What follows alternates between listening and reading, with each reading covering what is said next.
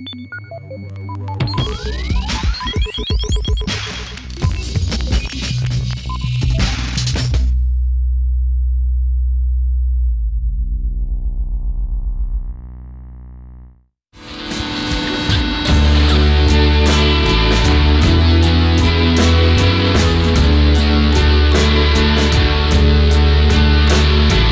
Bradford from Atlas Sound, Deerhunter.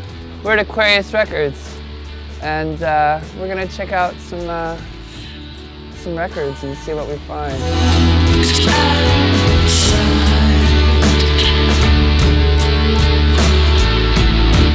Here's what I like is the $1 section. Giant Pecker, their album Black Wire. Excuse me, gentlemen, are you familiar with this Giant Pecker album?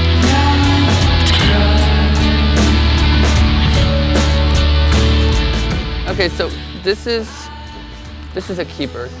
This is something I might want to check out.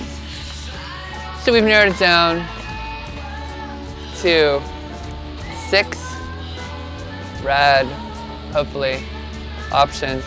The first one is the self-titled Sparks album. She was a wonder girl, I've never really listened to earlier stuff. It's very, uh, very proto glam. They have a tendency to pack a lot of ideas into one song, like hooks, and but they're kind of hidden.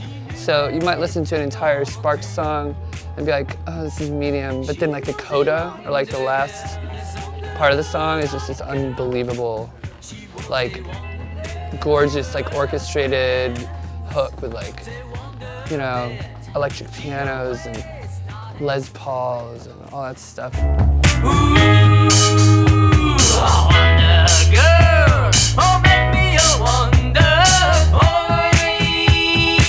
Another thing I love about Sparks is their music always has like a dark, angst kind of tinge to it. I think they're like seriously one of the most genius bands, and you can't beat that mustache, the Hitler stash.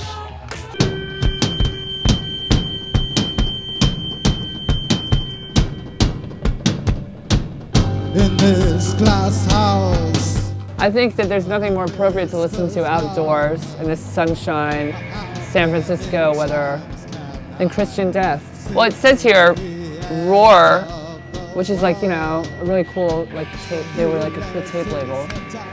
Legendary 1985 Death Rock cassette. Death Rock cassette classic.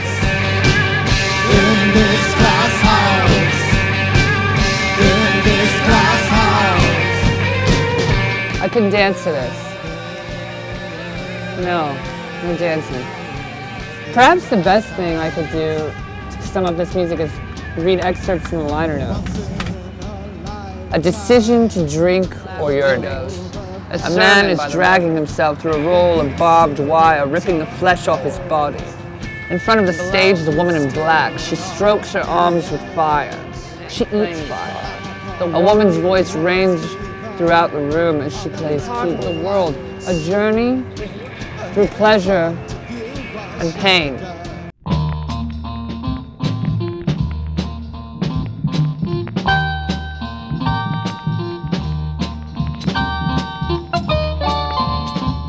I have three favorite groups of all times, all time, and that's uh, the B-52s for like hometown reasons, like from Athens, and they're like hometown heroes. Second is the Breeders, and uh, the third is uh, Stereolab. The song on this record, Love in Outer Space, Stereolab basically used the entire song and basically just kind of borrowed, borrowed the composition and kind of recontextualized it, which I've always appreciated about Stereolab because very few people can get away with that. You know, I mean, it's just the thing that made me realize is that originality is not quite as important. It's just, uh, I don't know, making something your own.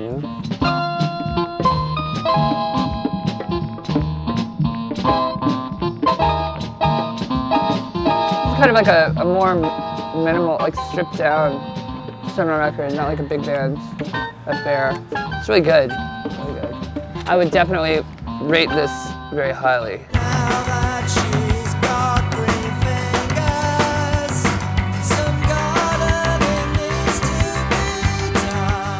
This record, All's Well, features uh, members of uh, This Heat. This is what they did after uh, This Heat.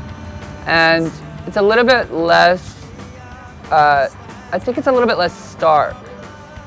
And the instrumentation is kind of uh, more uh, elaborate than This Heat. So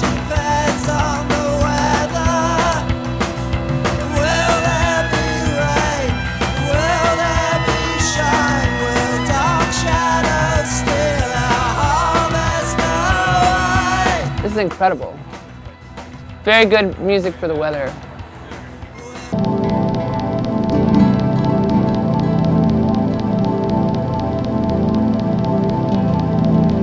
I usually get these every year. This is the kind of music, Moses, uh, drummer in Deerhunter, and I have always been huge, huge, huge fans of, of this kind of stuff. Like the ambient stuff on the, on the Deerhunter record, Cryptograms, was inspired a lot by uh, this stuff. The thing I'm really excited about about this one, which I haven't heard yet, is that it is bookended by songs I haven't heard yet by Markus Guentner. And I'm a huge, huge fan of Markus Guentner's work.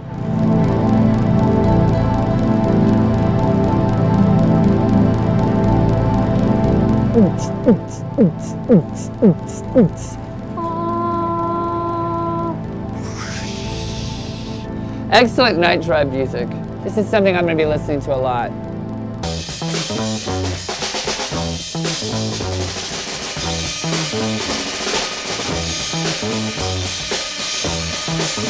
I was going to purchase a copy of this record for each member of Deerhunter. And the idea was that I wanted them to all be listening to this record to kind of, it was kind of, uh, this is where I kind of want to draw a lot of inspiration for our next record from. And the fact that it, it's, a lot of these songs are very, very pop. Uh, but they're, at the same time, they're collaged and there's a lot of experimental tape stuff going on.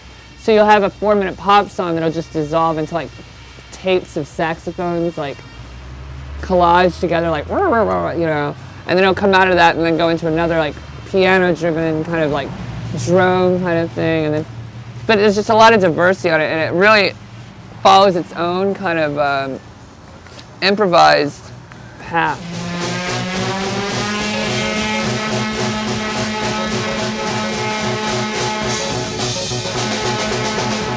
This is the original cover, which is kind of creepy. The last track, which I cannot pronounce because it's in French, Cherchons, it's this really unexpected, hypnotic kind of bulk acoustic song. There's a note about the lyrics. It says, Note, the French words are there only to emphasize the bass. De toute façon, comme il disait lui, c'était une phrase toujours interrompue. I like that. I like the fact that their lyrics are kind of incidental and only used to emphasize the bass. Uh, I think they're the most influential on me because um, they do stuff that is accessible, but they do it in their own way. They do it well. They do it really well. It's been a productive afternoon here at Aquarius. I uh, got reacquainted with some music that I have been familiar with in the past and some new music that I hadn't gotten to hear yet. So that was fun. And most importantly, it's a gorgeous day. Thanks, XLR8R.